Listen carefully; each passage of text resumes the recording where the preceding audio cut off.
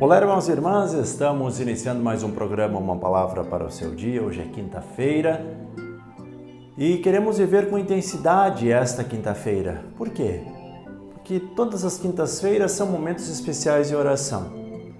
E se você olhar no seu calendário, na próxima quinta-feira, nós já estaremos na Semana Santa, já celebrando a instituição da Eucaristia.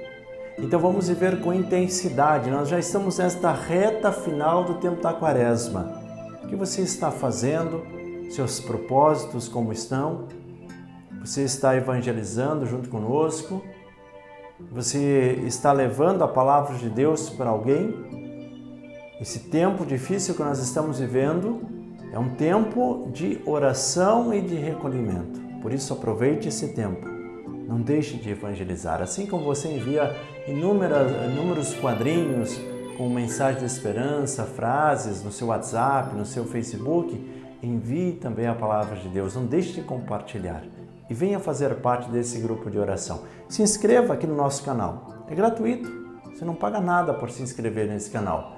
E ainda sinalize naquela sinetinha que aparece logo em seguida, porque aí você vai receber uma notificação, né, um, um aviso, sempre que nós postarmos um novo conteúdo. Tá legal? Então venha fazer parte desse, desse grupo de oração, desse canal de evangelização que se chama Marcelo Sou Carmelo.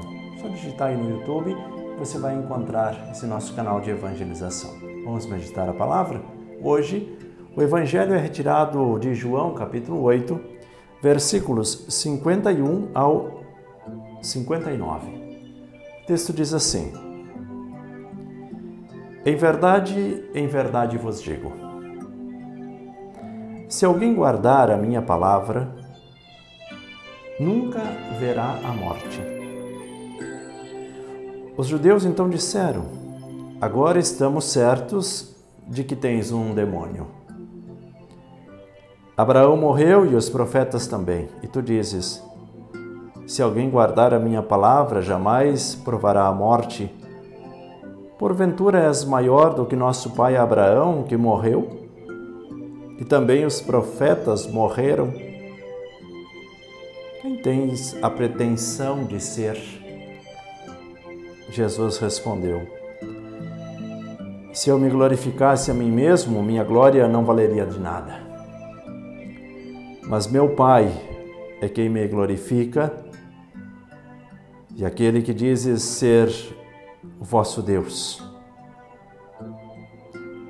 No entanto, vós não o conheceis, mas eu o conheço. E se dissesse que não o conheço, eu seria um mentiroso como vós. Mas eu o conheço e guardo a sua palavra. Vosso pai Abraão exultou por ver o meu dia. Ele viu e se alegrou. Os judeus disseram-lhe então: Ainda não tens cinquenta anos e viste Abraão? Jesus respondeu: Em verdade, em verdade vos digo: antes que Abraão existisse, eu sou. Então pegaram pedras para o apedrejar mas Jesus escondeu-se e saiu do templo. Palavra da salvação, glória a vós, Senhor. Vamos juntos meditar a palavra deste dia.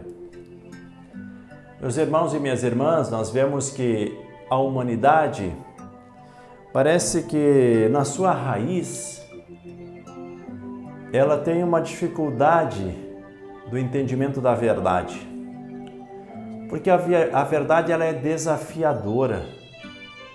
A verdade inquieta, desestabiliza. E muitas pessoas não querem ser desestabilizadas. Por isso, essa revolta no coração dessas pessoas. Eles tinham as suas verdades, daquilo que eles receberam da tradição, né, dos seus pais, seus avós, e aquela era a única verdade.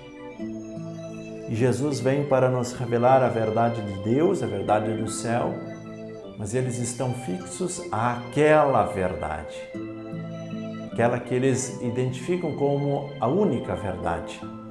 Por isso dizem a Jesus: Quem pretendes tu ser? Maior do que nosso pai Abraão? Veja que esse entendimento muitas vezes é, é difícil de assimilar na nossa vida, porque isso desestabiliza.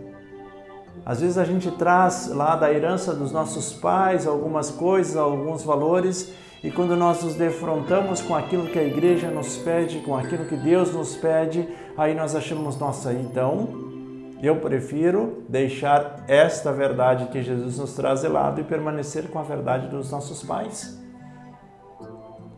Só evolui aquele que tem a coragem, a audácia de se deparar com a verdade e dizer: Senhor Deus, até agora eu só conhecia isso, mas diante desse conhecimento que eu estou tendo agora, eu reconheço Senhor Jesus, eu preciso mudar de vida.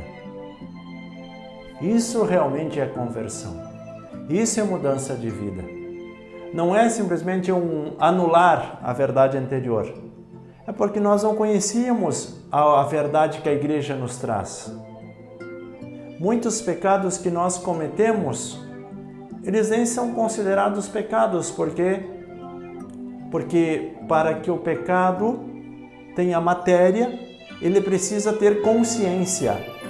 Se nós não tínhamos consciência de que aquilo era erro, ele não se materializa, ele não se concretiza como um pecado em si. Mas a partir de agora, tendo conhecimento, tendo consciência, nós não podemos mais repetir os mesmos erros, porque agora nós sabemos isso é pecado, isso é erro. Por isso o que a palavra de Deus vem nos pedir hoje é Conheça a palavra, mas ainda mais, guarde a palavra. Guarde no seu coração e do seu coração ela vai se transformar em vida. Qual a diferença da relação do cristão frente à palavra e dos judeus? Eles conheciam também a palavra, mas ao invés de guardá-la, distorciam a verdade e expressavam esta verdade da forma como eles entendiam, não conforme a vontade de Deus. Jesus quer que a gente conheça a verdade, por isso, esse contato que nós temos com a palavra de Deus.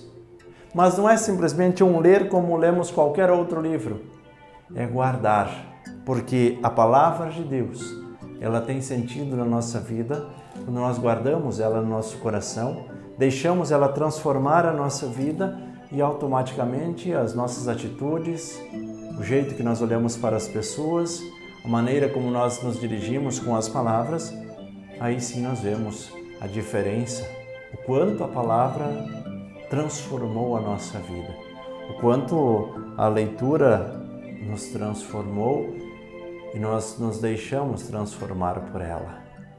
Amoleça o seu coração se sensibilize. Deixe de lado o seu coração de pedra. Olhe para o seu passado, não como um passado que te condena, mas um passado que você viveu e graças a ele você está aqui para agora conhecer as verdades de Deus. Evangelize conosco porque evangelizar é preciso.